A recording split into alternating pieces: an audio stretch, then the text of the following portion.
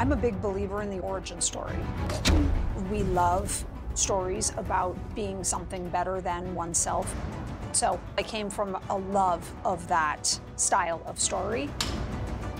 I had such a build-up for Wonder Woman. And cut, nice. I got the part in 2012. I was so ready. Like I had these months of me getting super excited about this character. I literally just wanted to, to attack, to give it a bite, to, to dive in. And the only thing that I cared about was telling Diana's story. Be careful in the world of men, Diana. They do not deserve you. To honor Wonder Woman in her first movie ever. It was fixating on how to best tell that kind of classic origin story. Really trying to celebrate and enjoy where she comes from and what that history is and that journey that every superhero must take into what it is to be a superhero.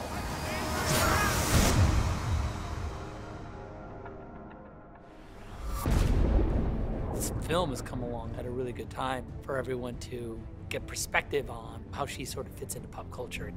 What she stands for is so universal and it's good. There's such goodness in her. And the character, even though she's had so many iterations since she's been around for over 75 years, those pillars of what she stands for remain constant. We felt a great responsibility to make sure that we brought Wonder Woman to the screen in the most honest way we could. I am a fan of Wonder Woman, and so I do feel like I understand the material. And as somebody that understands Wonder Woman, loves Wonder Woman, the job becomes how do I, as a fan, stay true to what I loved and bring it into the modern era. Bringing any character to the big screen comes with its own challenges. Wonder Woman specifically, I think the nuance of her character, the compassionate hero, is something that can get lost very easily. The guy in the alley that she knocks down, oh. other superheroes would have a foot on his chest and said, okay, where's Ares? And and the nuance for that was like that's we can't do that. That's not who she is. She would come by him and kneel down and say, I'm gonna help you, but tell me where he is. Where will I find Ares? It's a very subtle difference in the character, but that's the challenge of bringing her origin story to the screen is really making sure that the character embodies everything that Wonder Woman is because she's not just another character. She's an icon. She's Wonder Woman, and she means a lot to so many of us. I think you come into something like this knowing that this is very personal to people, and their relationship with Wonder Woman is very personal to them. The most important thing to do is to live up to who is that woman who is so good and so strong and so exciting and so beautiful and funny and kind. That is what drew us all to Wonder Woman. Patty and I had many creative conversation about this character, and her vision for Diana was in line with mine. You were so good, Haley. Get scared. Gal has many qualities that actually epitomize what one would hope to find in the individual who plays Wonder Woman. She certainly has grace. She absolutely has courage. She has a lot of wisdom. She's humble and truthful. It was amazing to see her not just assimilate the part, but also imbue the part with her wonderful qualities. Patty and Gal have really done the amazing job of looking into all the potential branches that make her who she is, making Wonder Woman Wonder Woman.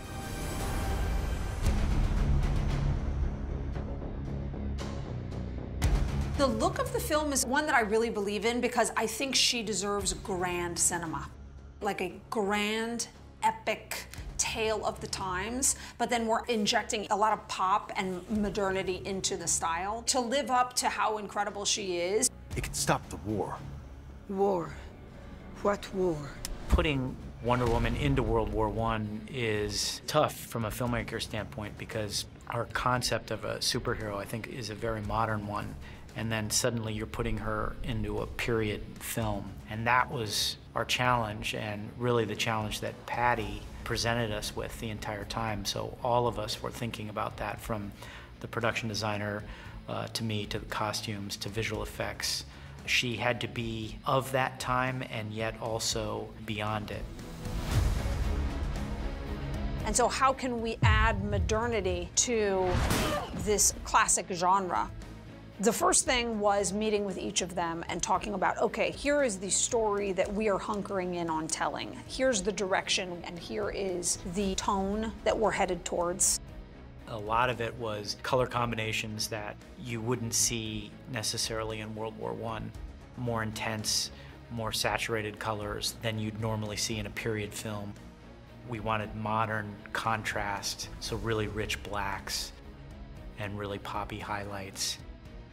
Very early on, Patty and I talked about a portrait painter of the time of World War I, John Singer Sargent, and he actually had what we would consider a very modern approach to using light in his portraits, and a lot of that was very soft frontal three-quarter light that quickly fell into blackness beyond the character. And that painting style sort of dictated a lot of how I approached lighting the faces. And John Singer Sargent had such a deep body of work of that period, beautiful paintings that we could turn to for the color palette that people were wearing then black and brown and gray and blue and white.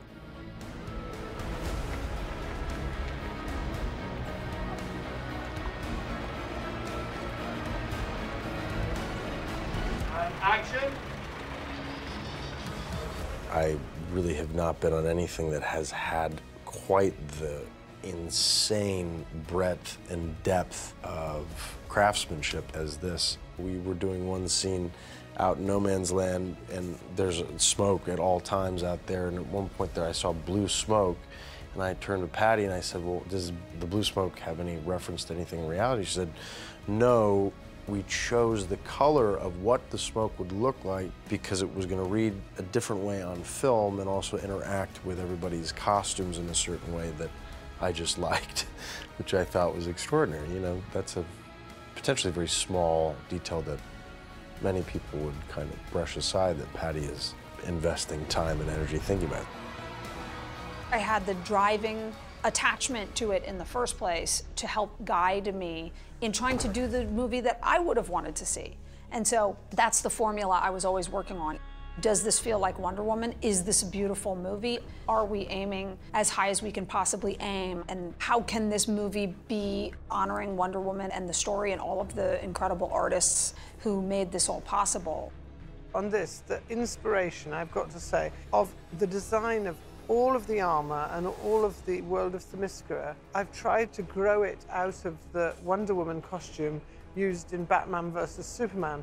So taking all the style lines, taking all the information in that one costume inspired all of the others. So whether they're the queen or whether they're a soldier, there's a hint of the Wonder Woman costume in mm. all of them.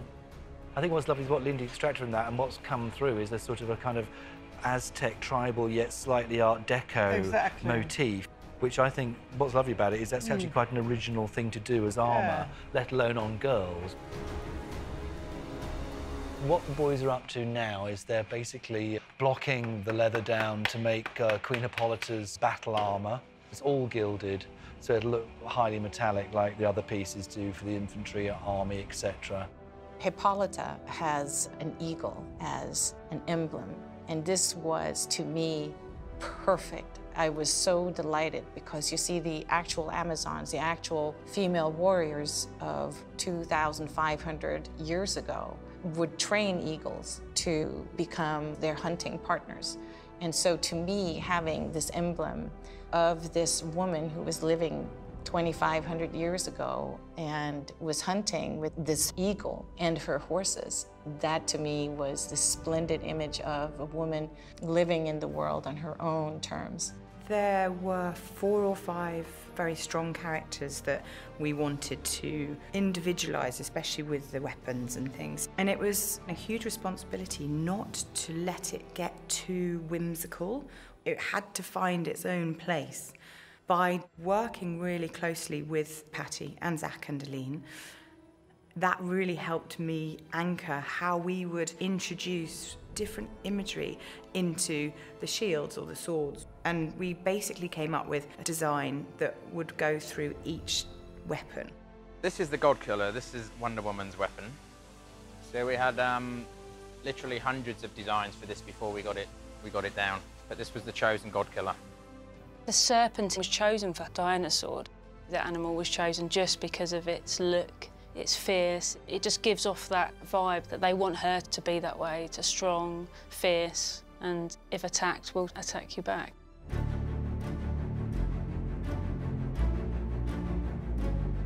Lindy's costumes, Aline's sets, when you arrive as an actor on a film, you prepare and you step into this environment that has been created for you, and your preparation is only increased by 100%. You walk onto the set bathed in golden light, it streams through it, and you open a drawer and there's papers and documents inside the drawer. You uh, look behind you and there are more test tubes and mortars and things that are bubbling, and uh, the detail is exquisite. It's like this rich tapestry, a tapestry where you don't see the stitching. The challenge is finding the right shot that reveals the enormity of the bomb making operation and not getting lost in all this sea of architecture. And then the trick is not making it look flat and uninteresting. But there's a lot of great colors and a lot of browns and charcoals and blacks already in the design. When you start to make a set, you start to build a volume, and after that, you paint it, and after that, you dress it. And the detail at the end will bring all the sense to all the work which has been done before. And suddenly, Matt brings light and all the character arrive in costume with the makeup, everything. And suddenly there is this magical moment where everything is all together and you are in the movie.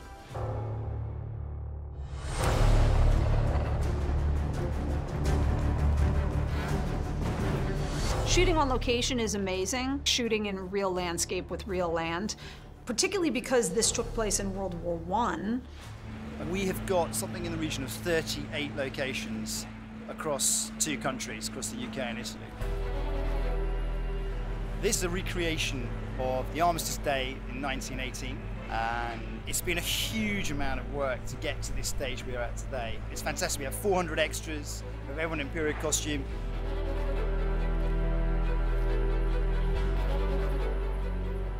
We shut the road network down for three hours in central London and closed down all the businesses around Trafalgar Square. The National Gallery are fantastic. They've helped us out immensely in trying to achieve what we have over here. It's the same thing without dialogue. Everybody just really enjoy the moment, looking around, seeing different things. We're in King's Cross Station. Uh, this will be Paddington Station in 1918.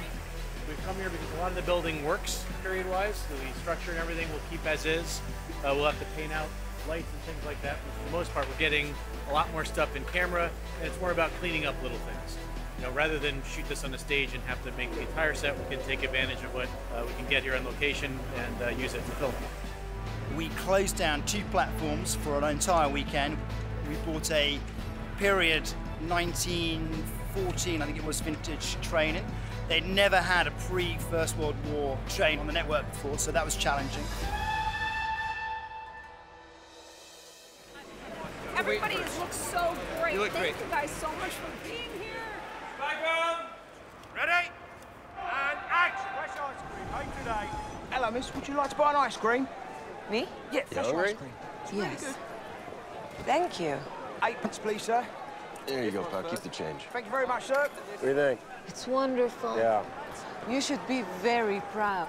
Patty really gave the film a very specific point of view and wanted to make sure that even though we were dealing with a film about a superhero, that it was going to be unique.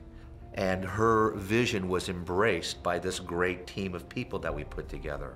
Patty tells us to see every scene through the eyes of Diana. How would this thing look if you're experiencing it through her eyes? Is this what passes for armor in your country? Every scene has been imbued by that, and it's a really refreshing, exciting way to approach a superhero film. It has been wonderful to see the world through Wonder Woman's eyes. It's almost like some days were so bright. and so that, to me, has been wonderful because it has left me less cynical and maybe a bit more excited about things. Often we'd find Patty sort of acting out the scenes from Wonder Woman's point of view. Before she would tell us what she wanted, she would kind of run around on stage and be Gal for a minute. Oh, and that's infectious, and that, that spread to all of us. Her sense of wonder herself, not only as a fan but as a filmmaker, seemed to work hand in hand. She really loved the story we were telling. It was someone that she grew up with and looked up to. I feel so honored to be making a movie using a superhero who stands for something that important. And the, the seven-year-old in you, like, heart skips a beat and almost wants to cry because it's hitting that visceral note that you didn't even remember you had after working on something for so long. And you go, it's Wonder Woman!